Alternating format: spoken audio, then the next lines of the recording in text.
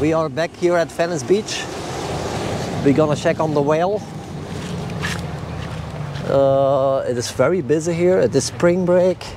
It's a sunset and then the whale thing. So uh, it's gonna be very crowded on this beach. We are walking here on the boardwalk. We are going to the beach. I see the water already. So we will check in, in about a couple seconds. We will know that uh, the whale is still here or not. Uh, I think it's passed away.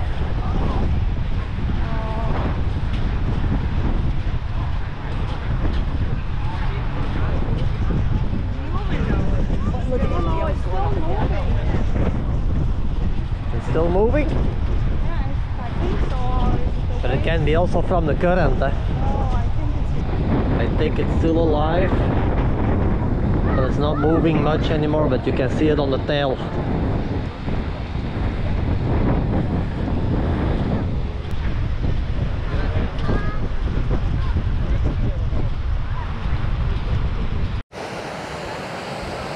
So we made it back.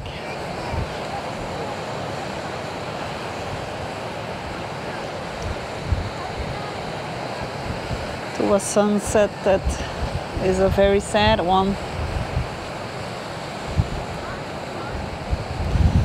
It does kind of appear that it's still breathing, but it's not moving its tail anymore.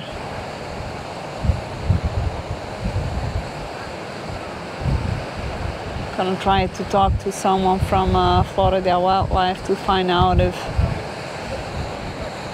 they eventually euthanized him or not or what is going on but I'm sorry sir did they finally eu- euthanize the animal or no did they finally euthanize No, No? Yeah, I mean, it looks like it's it's alive. it's still time. breathing looks like it.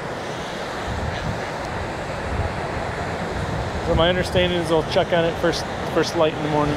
Oh, okay. So I just talked to a police officer. Apparently, there are not too many people from the Florida Wildlife anymore, but I talked to, to the police officer and they I asked him, "Did you guys were able to euthanize him?" And they told me that uh, they tried before, but uh, they failed and I'm not sure what happened, but they left. And like, I don't see anyone from Florida Wildlife here, but they are gonna come back in the morning because they will do an autopsy uh, on the animal. But we see it's still breeding, and I'm kind of disappointed to see that they weren't able to sedate it and to euthanize it. But they maybe have their reasons. It is really windy, so it might be dangerous still who knows but it's just a very sad day for Venice here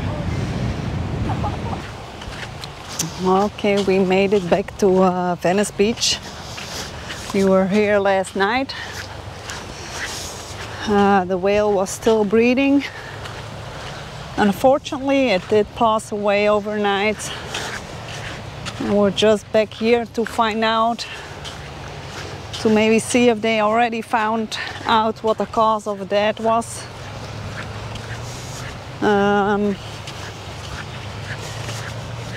yeah, it's, it's you get a emotional connection to the animal. You saw it breathing, like especially last night. It was hard to watch. It was almost not moving, and then you only saw it breathing. So it's a sad situation, but I hope they can learn. Okay, Thank you. thank you.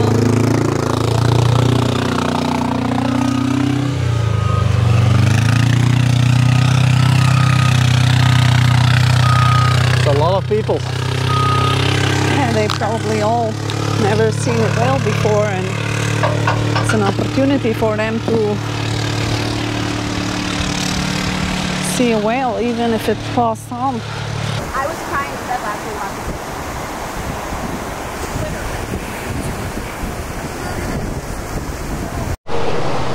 So they are doing an autopsy. The moment they just pulled off the jaw, what is horrific to see. but um, it's all to probably get to know how it passed away and they're doing something with the teeth now. They probably can uh, determine the age, I would think. They buried the hag or whatever, whatever. Cut the jaw. Yeah, they I'm just rinsing it.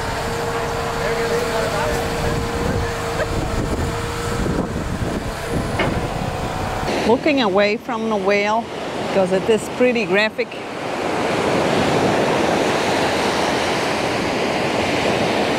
So we are here at the autopsy. I didn't learn too much, but for me it was a little too graphic. Rudy made some shots, but I kind of didn't feel to start watching it. So I made a little memorial. It's like a little whale with a flower and this is my way to say goodbye to the whale.